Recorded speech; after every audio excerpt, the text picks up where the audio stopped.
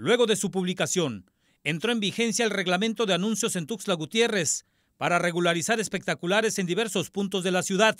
Todos tienen que cumplir con el reglamento y más ahora que acaba de ser publicado el nuevo reglamento de anuncios y espectaculares para Tuxtla Gutiérrez. Tras un operativo, 15 espectaculares se encuentran en procesos de revisión y clausura y durante la presente semana se triplicarán los procesos administrativos. Estamos actuando los que están en casa, los que están en uso de suelo, que son propiedad del ayuntamiento, que es vía pública. Sin embargo, aún teniendo eh, el acuerdo de Cabildo que los autorice colocarse en vía pública, deben de haber cumplido los requisitos que marca la ley. Todos deben contar con estudios de protección civil, pagar sus derechos para no ser retirados y de no cumplir, serán liberadas esas áreas de uso de suelo.